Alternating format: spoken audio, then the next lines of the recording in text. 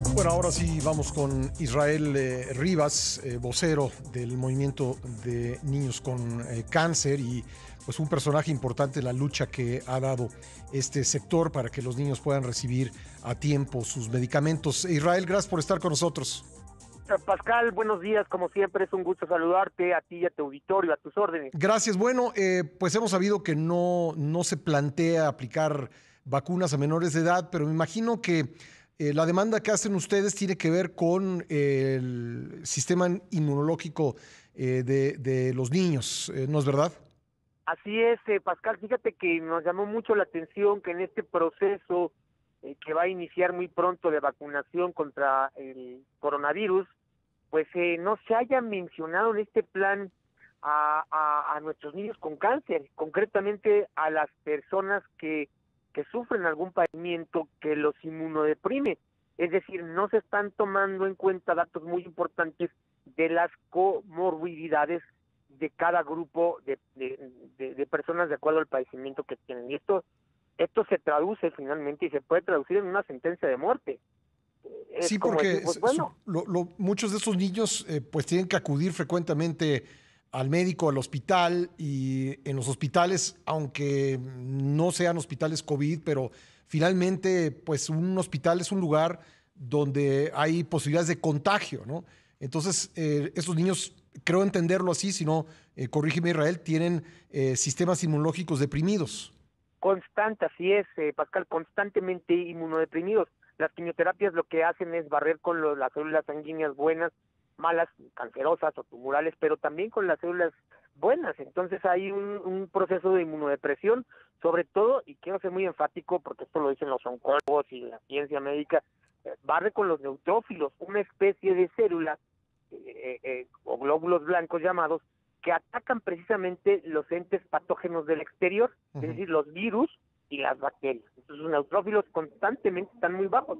Aún un niño, fíjate que después eh, digamos que haya superado cáncer eh, eh, y, y, y, y, ya no esté en proceso de quimioterapia, aún así, de dos a tres meses después de su última quimioterapia, sigue inmunodeprimido, es decir, la recuperación de sus células sanguíneas es lenta para tener los niveles normales que podemos tener tú y yo o que puede tener un niño normal. Claro. Inclusive hasta seis meses después puede seguir inmunodeprimido.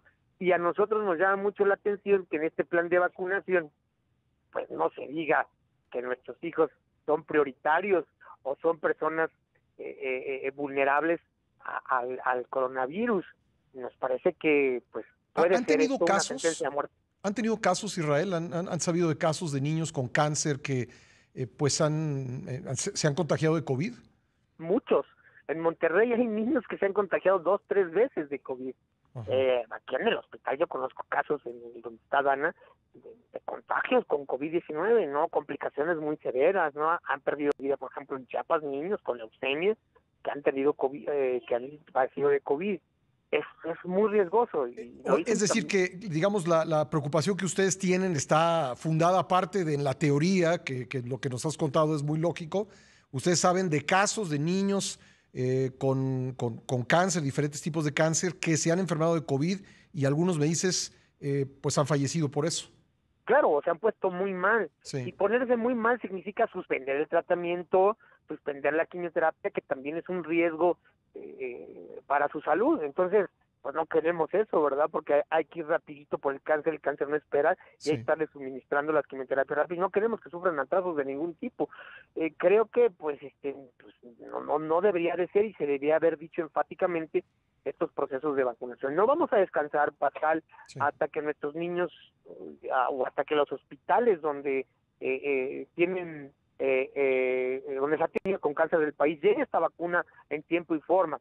Desafortunadamente el gobierno no entiende de otra manera, por eso le hemos puesto un ultimátum. Si para finales de diciembre o principios de enero estas vacunas no llegan a los hospitales, eh, eh, nos vamos a tener que movilizar. Y, y, luego por ahí también no se vale meterle miedo a las mamás diciendo que no sirve la vacuna, que no vacunen a sus hijos, porque también es un problema ahí de, estos grupos que están moviendo las aguas diciendo que las vacunas no sirven, cuando las vacunas son el desarrollo científico que más vidas ha salvado a través de la historia de la humanidad, ¿no?